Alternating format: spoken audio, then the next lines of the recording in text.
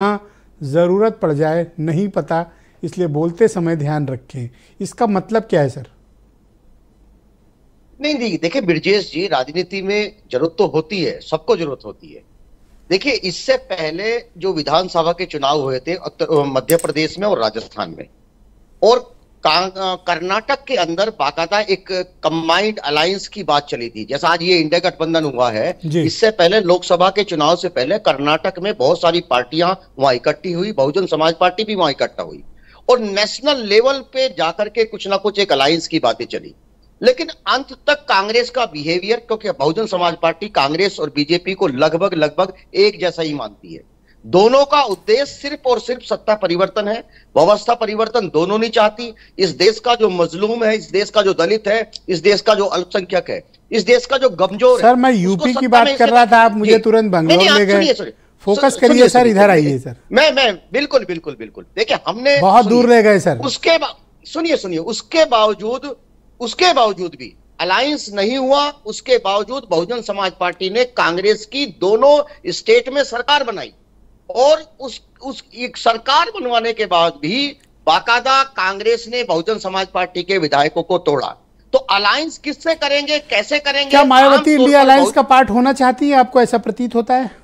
नहीं बहुजन समाज पार्टी ने बहन जी ने स्पष्ट किया हुआ है कि हम किसी के साथ अलायंस नहीं करेंगे बहुजन समाज पार्टी किसी के साथ अलायंस इसलिए नहीं करेगी क्योंकि आम तौर पर बहुजन समाज पार्टी का जो भोला भाला वोटर है वो दूसरे को वोट दे देता है दूसरी पार्टी के लोग बहुजन समाज पार्टी को वोट नहीं देते। अब तक का बहुजन समाज पार्टी का जो जो भी अलायंस हुए उसमें तमाम पार्टियों ने ही फ़ायदा उठाया। बहुजन समाज पार्टी को हमेशा नुकसान मायावती का जो आज का स्टेटमेंट है इसको पॉलिटिकली लूज बॉल बोलते हैं। यानी कैरेट लटकाना।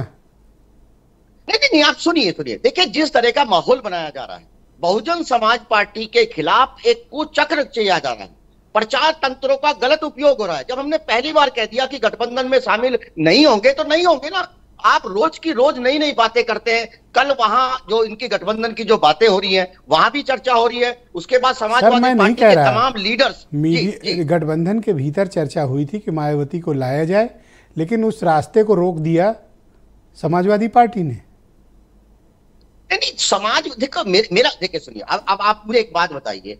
क्या अखिलेश अखिलेश जी जो स, जो समाजवादी पार्टी के राष्ट्रीय अध्यक्ष भी है कांग्रेस उसको कितना सीरियस ले रही है? पिछले आपने देखा है ना मध्य प्रदेश के चुनाव में उनको क्या भाषा का प्रयोग किया? उनको सीटें दी थी क्या?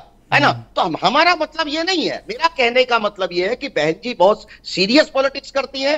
जो भी वो कहती है वो अक्सर तय सच ही होता सर मुझे केवल इस लाइन के मायने बता दो थोड़ा इसको डिकोड करो कि कब किसको कहाँ ज़रूरत पड़ जाए।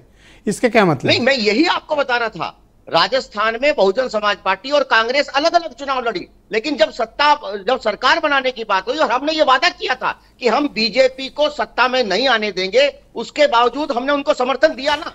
क्या इंडिया अलायंस के पास जाने के रास्ते बीएसपी के लिए खुले हैं? नहीं नहीं आप सुनिए ना। देखिए कोई पहले अलायंस है किसके बीच में? अरे तमाम रोज का रोज आपकी नई नई लोगों की नई बातें होती हैं। कोई आदमी पीसी से पहले चले जाते हैं कुछ लोग अंदर आ जाते हैं। रोज नई नई बातें होती है। भाई अलायंस बनाओ तो सही। हम बहुजन समाज पार्टी ने पहले दिन से ये कहा है कि हम इंडिया गठबंधन का हिस्सा नहीं है। हम अकेले थैंक यू सतीश प्रकाश जी हमारे साथ जुड़े रहिए डिबेट को आगे बढ़ाएँगे। मेरे साथ फराज किदवई समाजवादी पार्टी के प्रवक्ता है। किदवई साहब स्वागत है आपका। अब आप ही बता दीजिए आप क्यों नहीं चाहते?